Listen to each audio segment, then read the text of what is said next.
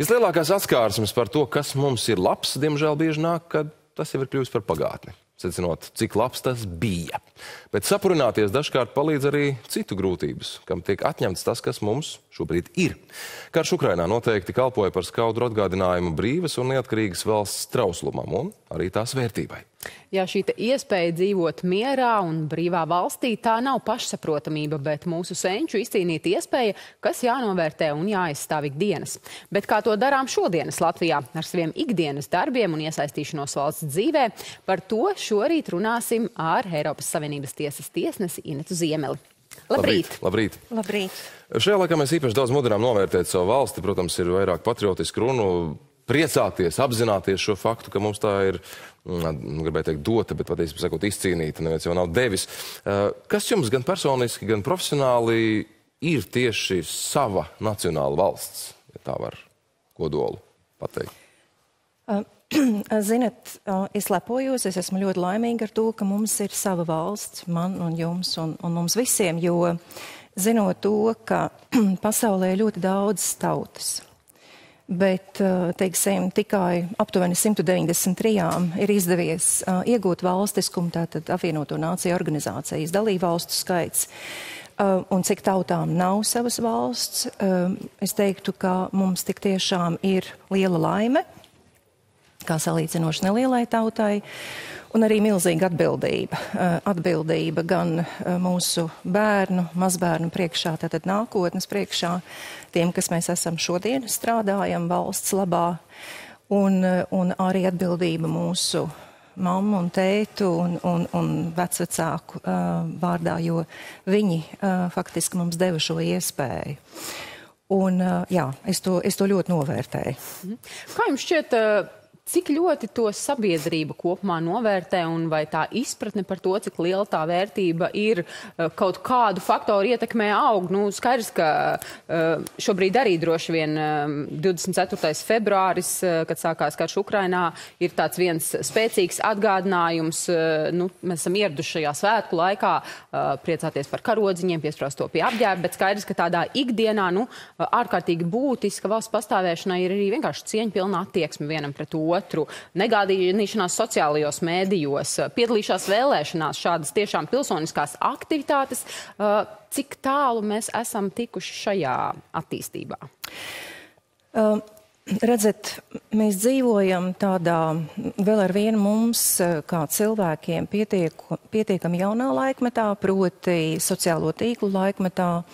Um, ļoti, ļoti straujā, teiksim, uh, digitalizācijas, mākslīgā intelekta uh, laikmetā. Un tas, protams, maina un ietekmē to, kā cilvēki um, uzvedās, kā cilvēki izturās uh, viens pret otru.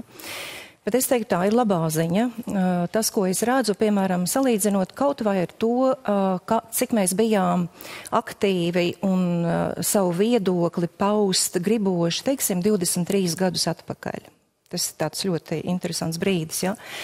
Um, un cik tas ir uh, daudz šobrīd? Man liekas, ka tas, ka katram cilvēkam būtībā ir iespēja izteikt savu viedokli viena klikšķa attālumā, uh, No vienas puses tas ir ļoti labi demokrātijas procesam, jo mums ir vajadzīga šī domāšana, nepārtraukta domāšana par to, kā dzīvot kopā labāk, ar kādām vērtībām, kā veidot kopējo labumu, jo mums tomēr jādomā par kopējo labumu, ne tikai par savējo.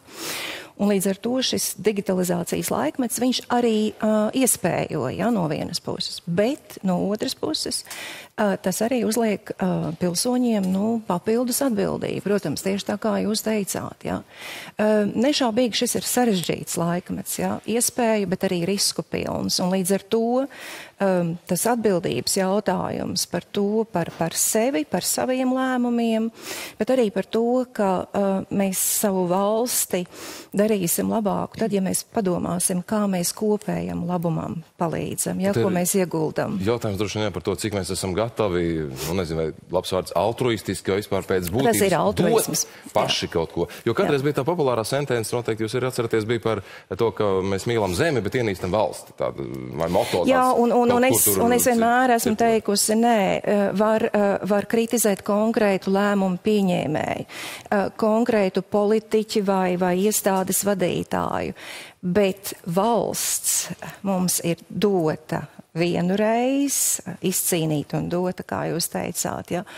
Un uh, viņu ienīst, tas ir kaut kas jau Nu, tas, tas man nav pieņemams, bet es domāju, arī sabiedrības vairākumam tas nav pieņemams, un tad mēs varam runāt par kaut kādām atbildībām jau likumā noteiktām. Bet, bet tādam niansītēm, teiksim, ir kaut kāds rūgtumiņš noteikti, kas daudziem sakrājas tīri no tā, nu, varbūt sociāla-ekonomiskās grūtības, kas nospiež vai kā citādi. Tad liekas, nu, nu ko tu tad mīlēt, ja daudz, Jā. uh, ka tie tur pie siles, nu, atvainojos par tādu varbūt vulgarizēšanu, brauc uz iedzīvotāju mugurām, nu, kā valsts pret mani, tā es pret viņu. Nu, ko, ko tur daudz apmēram tā? Uh, ko, jūs ir pretpote šādai dispozīcijai? Protams, Protams, ne, tas ir jautājums par taisnīgumu un uh, līdztiesību sabiedrībā. Un lielākais, Latvijā lielākais izaicinājums, to es cits starp teicu vēl 2019. gadā satversmes tiesas pirmajā svinīgajā sēdē, um, ka lielākais izaicinājums vēl ar vienu nekas nav mainījies ir uh, lielākas uh, vienlīdzības nodrošināšana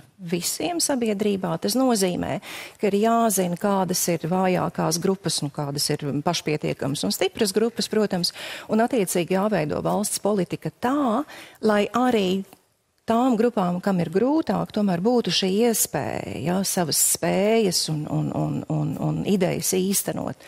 Nu, tas ir valsts politikas jautājums, un, un, un pilnīgi pamatoti ir uh, uh, cilvēkiem attiecīgi prasīt, jā, lai būtu šīs iespējas, lai politika un, un, un likumdošana būtu tāda, kas dotu iespējas. Mhm.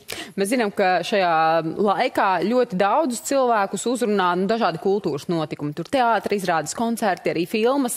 Un, un tas iespējams ir tas, kas nu, gan raisa to patriotismu, gan pamudina mūs domāt tiešām par tādām uh, nu, savām jūtām pret Latvijas valsti. Uh, Kā ir jums? Skaidrs, ka jums tas ikdienas darbs ir nu, tādos uh, vairāk rāmjos ielikts. Kas ir tas jūsu iedvesmas avots šai mīlestībai, tam patriotismam? Jā, nu tās, protams, uh, ir, kā jūs teicāt, tās ir teātra izrādes. Tie ir mūsu mākslinieku sniegumi ne tikai Latvijā, bet arī ārpus Latvijas, cits starp. Uh, uh, Viņi samērā bieži viesojās arī Luksemburgā, Luksemburgas izcilajā filharmonijā.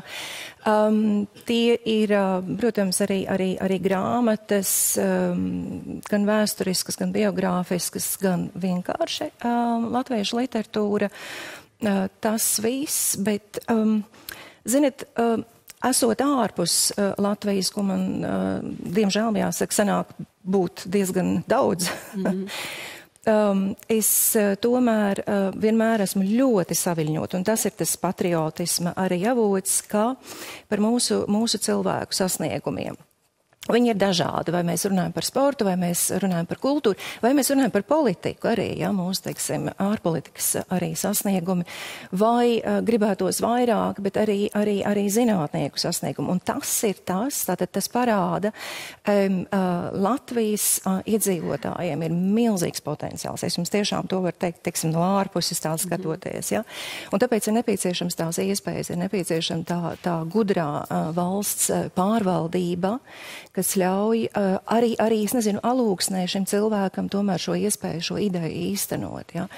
Um, palīdz uh, tur, kur ir vajadzīgs un netraucē tur, kur oh. nevajag, ne, vai ne?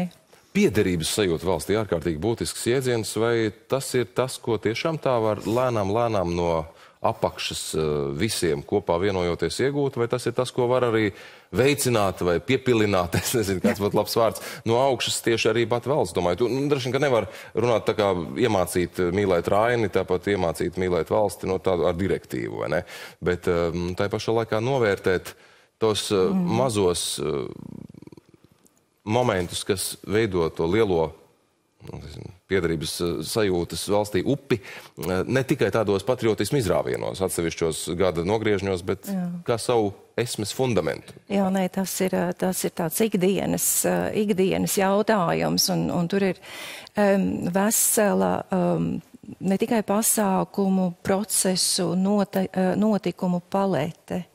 Es piekrītu, ka tas nu, nešaubīgi mums 18. novembris ir ārkārtīgi svarīgs. Mums ir vairāk šie, šie, šie datumi uh, gada griezumā, um, bet, um, manuprāt, um, tas ir vispirms tādas attieksmes jautājums, tas ir attieksmes jautājums um, no to puses, kas pieņem lēmumus un kā uh, viņi komunicē ar katru cilvēku, vai cilvēks izjutīs, ka ir tāda autentiska vēlme šim cilvēkam, šai komunikācijai. Tas autentiskums, manuprāt, ikdienas gaitās ir ļoti svarīgs. Tātad tiem, kurus mēs esam pilnvarojuši, varu īstenot, tātad tautas doto varu īstenot no vienas puses, un tad arī uh, kopumā sabiedrības, teikt, ar vien plašāk un plašāk uh, arī atvērsies uh, nu, šai valstiskai, šai demokrātiskai komunikācijai.